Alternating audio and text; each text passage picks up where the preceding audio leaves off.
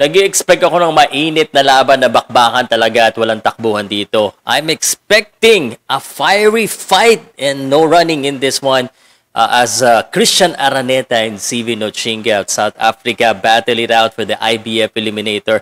Ang dami pong nagtatanong, where do we watch the fight? Saan ba map- mapapanood? At ano ba ang expectation natin dito sa laban na ito? Sino ba talaga ang lamang dito sa laban na ito? Pues, maghanda na kayo matulog sa tanghali dahil magpupuyat kayo ngayon.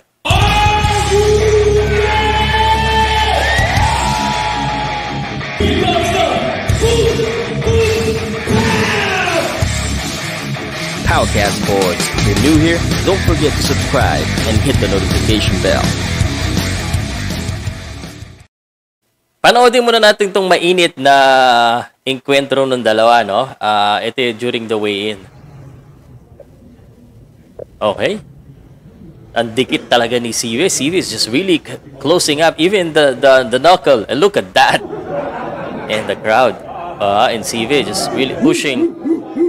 Uh, you can't see the head, but at least you know what's happening here. Murajan, Murajan. Wow. Angas. Whoa! Woo! Woo! Let's let's uh, read some of the re- uh, the comment here. Pinagdikit pa yung ulo. Hayop ha. Pinag-iinit talaga nila yung dalawa. Nakakatawa kahit pinagdikit wala pa ding angas yung nilabas pareho yatang mabait sa personal. Dapat knockout para di siya hometown decision. Usually pag ganyan hasta wait uh, in the face-off bumalagta na lang sa ring yan. Good luck. Okay, all right.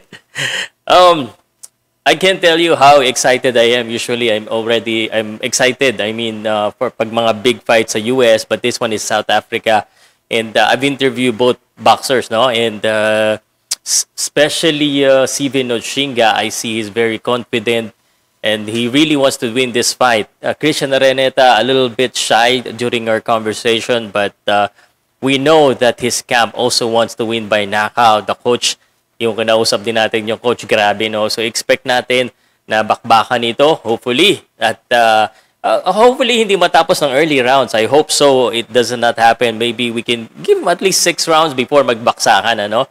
At uh, isa po sa um, tanong sa akin sir where do we watch the fight? Um I've sent uh, them message and uh, looks like they're gonna live stream on uh, on Rumble Africa Boxing Promotion. Uh, that's the uh, promoter of this fight. So hopefully we can see that. And please also don't forget ah, si Gerald Paclar din po ay lalaban uh, dito sa boxing event na ito against South African boxer. That will be a good fight as well. And uh, doon, sa abangan na lang, share ko na lang dito. And uh, I don't know if I can do commentary because it's about 12. Uh, unless matulog ako sa tanghali or uminom ako ng kape uh, sa gabi para magising dito. Anyway, ang uh, ito po ang uh, box rec what if which is basically ano ba ang nakikita ng box rec sino ba ang labang. So according to box rec what if Sivenati Nonshinga is ahead uh, 61% and 35% chance for Christian Naraneta. This is uh, already good close enough. This is a big fight for both boxers not only because um, IBF eliminator that it, but it proves that uh, yung kanilang mga laban ay legit. Look at this, si natalo na rin ni uh, uh, nito ni Sevenati no Shinga isang Pinoy. So pangalawang Pinoy na kaya itong si Christian Araneta or magpakawala na bomba itong si Christian Araneta. Um, I really I re- I'm really uh, sobrang excited ako dito na um, I'm curious exactly what's gonna happen kasi hindi ko kilala itong Steven Otshinga. I've, I've only watched uh, some of the video clips, so I don't really know him, but it looks like he's ready to fight. If he's ready to fight, whoever load, unload that uh, first heavy punch at sino unang masaktan will lose. And hopefully, yung Pilipino yung manalo. Sa Pilipino tayo dito, syempre.